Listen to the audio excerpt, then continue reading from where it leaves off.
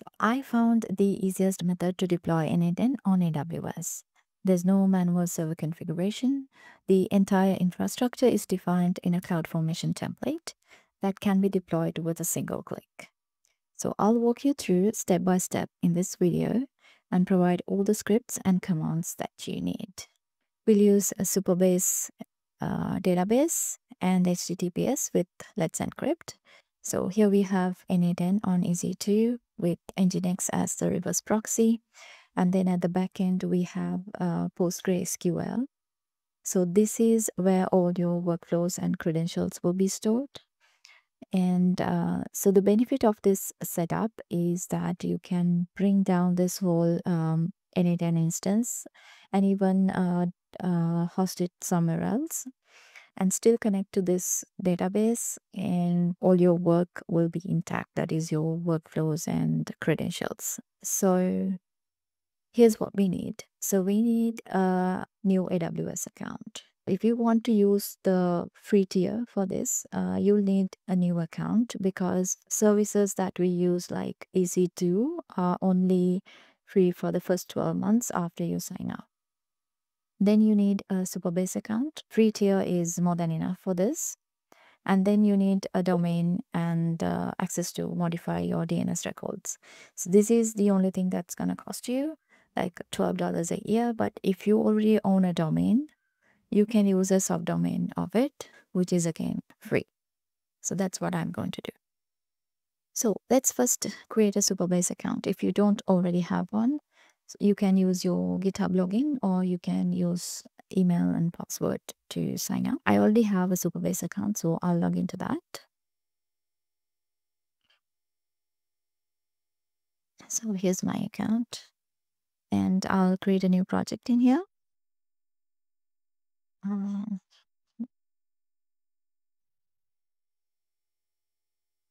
I'll use generate password and copy that and then I'll keep this as it is and create a new project. Your project is created in Supabase. Now you need to get the connection details. So this direct connection does not support IPv4. Therefore, we're going to use the session pooler and click on view parameters and it will expand this section.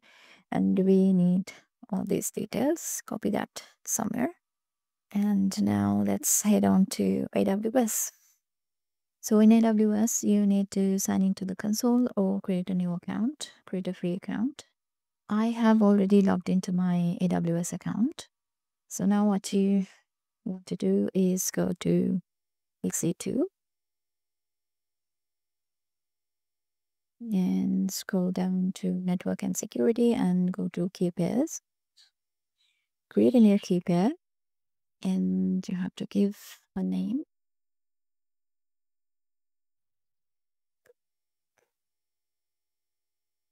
And select .pem and click on the create key pair button here. So once you click uh, here it will automatically download the pem file for you. And you're gonna need that file later when we log into the server. So now we have uh, the file downloaded and the pair created, uh, we'll go to the next step, which is to launch the n8n infrastructure using the CloudFormation template. So now we need to search for CloudFormation. And here it is. And click on Create Stack. Choose existing template and upload template file and we have to give the template file here. I'll just go through the template file quickly. So here's my CloudFormation YAML file. So here's what it looks like. So we have some parameters which we're going to give uh, the values to in the next screen. And uh, here's the EC2 server setup. And uh, this is the uh, environment variables of our n8n. Um, and so these are the parameters that are defined over here. For example, database host, password, user, and all. and uh,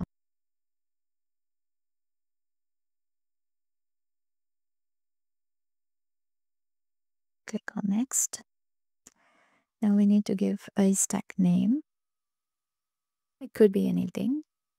So we need now we need these details that we copied from the supabase connection.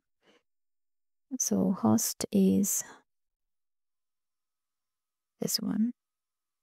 And database password the one we generated and copied. The database user is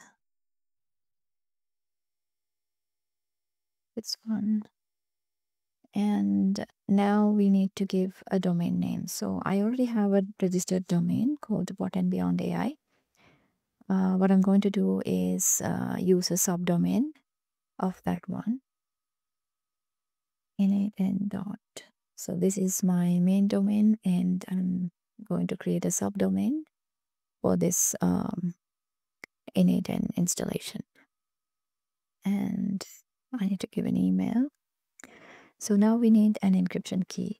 This key is required to uh, encrypt the credentials that you store in the database. So if you want to retrieve uh, the credentials, maybe in a different, uh, if you install this N8N instance somewhere else and you need to connect to the same database, you're going to need this encryption key. So generate this and keep it somewhere safe. I'm going to use git bash uh, to generate the encryption key. Open SSL, rand, and x32. So this is my encryption key. Copy that.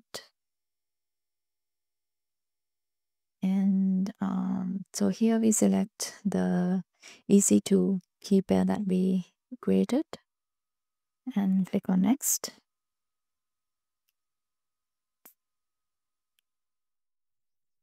Go next again. And here we get the chance to review the parameter values that we entered in the earlier step. We can click submit and then it will start creating the instance for us. This will take some time.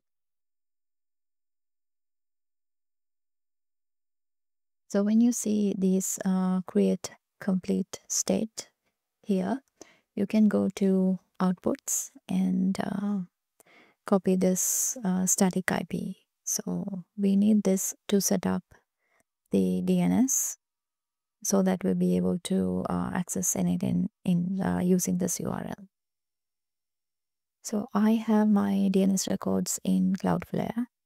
So I've logged into my account and I'm going to add an A record.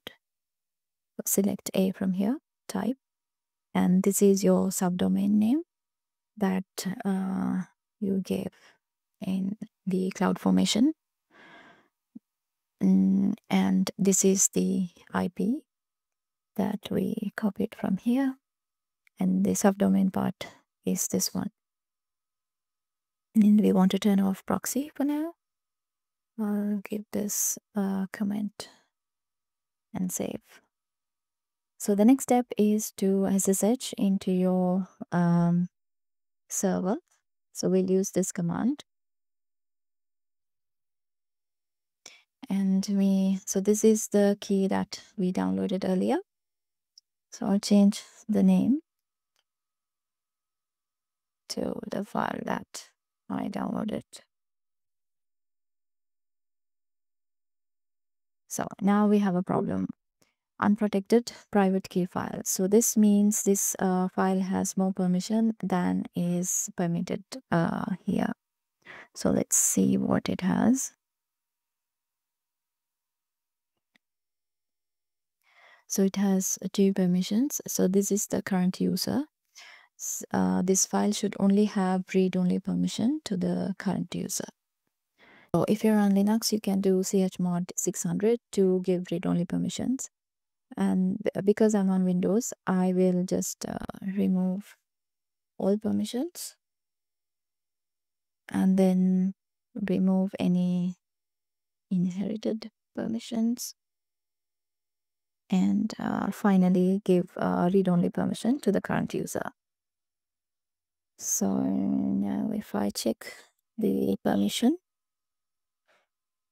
yeah, it has only this read-only permission for the current user. Now we should be able to fetch a search into the server. Yeah, perfect. Now we can run certbot to get the SSL certificate. So I'll run this command. So here you have to give your domain name and your email address. Execute that. Yeah, you can do this only after you do the DNS records. Otherwise, it will not run properly. So we will restart Nginx to pick up the changes. Now that we have set up everything, we should be able to access uh, n8n using this link. And you can create an account using your email, name, and password. So I'll quickly create an account.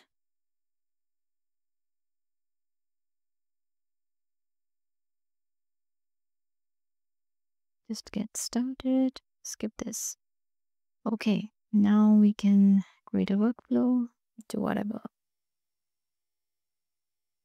Now, if you go back to your uh, Supabase account, you will see all the tables that n8n has created. So I will quickly show you uh, my other account that's running uh, on AWS. So in here I have uh, four active workflows, like these two are very small workflows. Uh, this one is the, a bit of a complex one. It takes a bit of time to load because it has to connect to uh, Supabase, uh, the external database. But uh, it runs uh, really smoothly. When working, there's no delay. It's just very smooth. But if you want to view execution data, it takes a bit of a time to load the executions so I think you can comfortably run uh, four to five workflows that are not very, very complex.